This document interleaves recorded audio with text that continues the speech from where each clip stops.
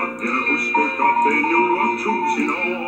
Det skyldes ikke hans forstand, forstand og dum er han, da folkets mænd kom væk og tro på Kristi forstået. Det vi ham i slaveri og fordom et blindes brud. Befremmelsen vil han aldrig få, og frelsen vil han altid stå som ham.